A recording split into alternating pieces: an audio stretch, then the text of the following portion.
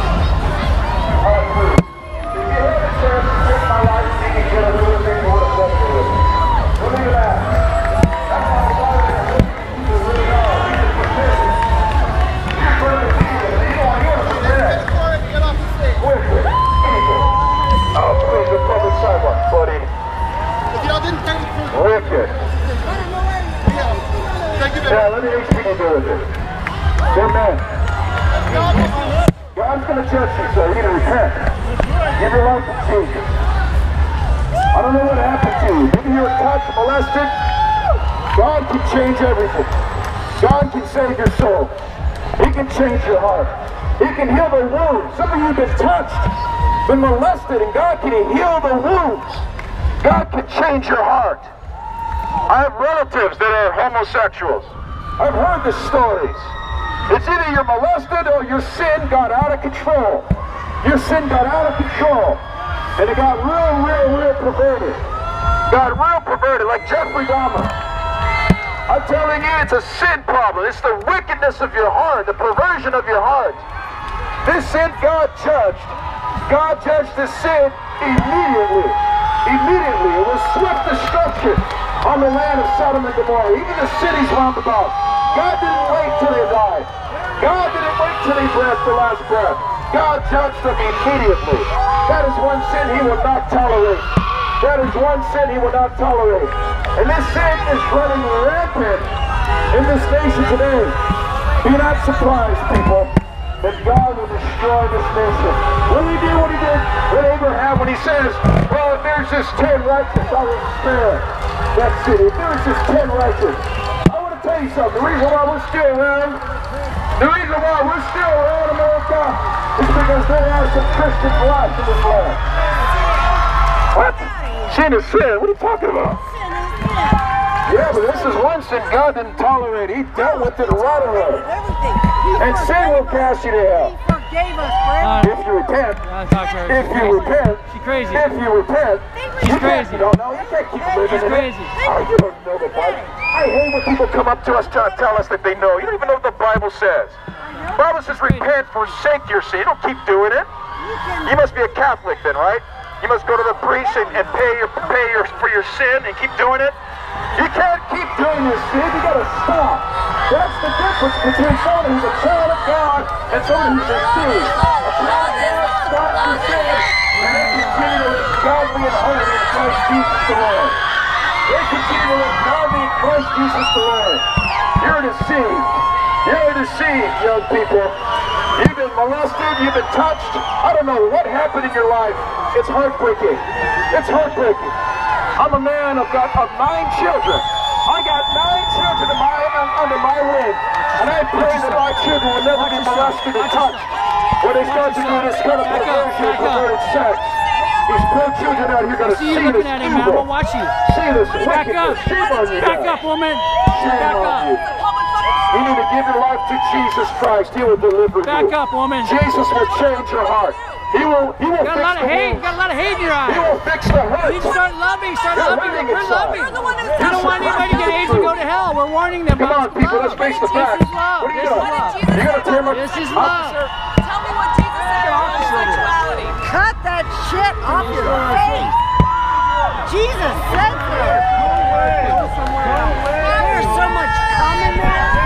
All those dicks you Are suck. you without sin? Are you without sin? You Catholics don't. I deserve to go to hell. No, I'm not throwing stones. I would never throw a stone. I'm not a Muslim. I'm not a Muslim. Well, your neighbor is guy broke your What stuff. the fuck is you doing?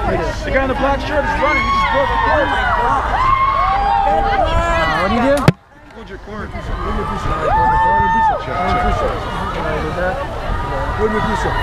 Check, check. All right. Back in the business. All right, we got children out here. Be very careful. Parental, parental uh, supervision is advised. Please cover, your, cover the eyes of the children. We don't see such perversion out here. If you got children, listen, people. If you got children out here, just, just be aware. Oh, you're what? Oh, it's sad.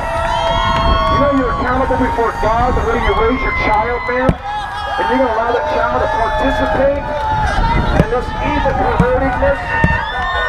Sad. Shameful. Shameful. 30 years ago, you guys were in the closet because you knew it was wrong. 30 years ago, you wouldn't come out of the closet because you knew it was consciously wrong. You it was consciously embarrassing.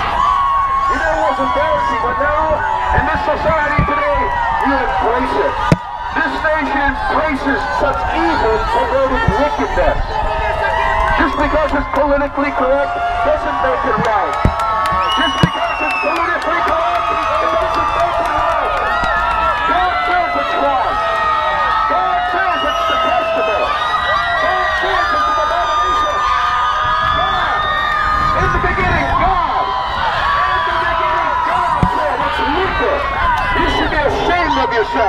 yourself. The things you are praising, you should be ashamed of. Sir, we never thought that they would come would walk down the streets praising this, this pedophilia. What it is. It's birthed out pedophilia. And you people are going to stand here and you're going to praise and lift your hands to this? Yeah, you really? Sad. Well, we'll see. I know your IQ's a one, sir. I wouldn't be so proud of it. On Judgment Day, when you stand before God, you'll be paralyzed in fear. You wouldn't be flicking off the moon. You wouldn't be flicking me off. You wouldn't be so proud and bold as you are now. I tell you this much, on Judgment Day, you remember this moment. That God gave you mercy to repent. That God would consider your so. This is the mercy of God right here. God knows all. Yes, this is the mercy. The mercy of God. Right here. That triumphs over judgment. That triumphs over judgment. God is considering your soul because He loves you. God loves you so much that He would send a preacher to you to tell you the truth. You need to repent. You need to repent. You, you embrace this evil? What's wrong with you people? You should be ashamed of yourselves. Your children got to see all this evil, this wicked, twistedness.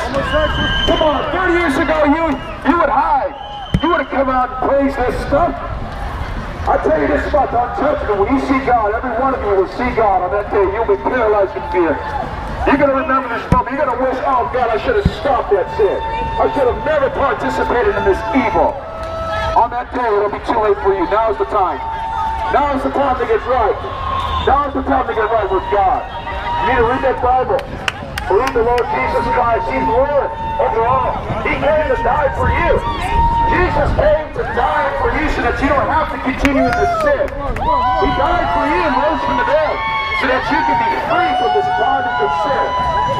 Oh, shame on you, sad. We're so sad.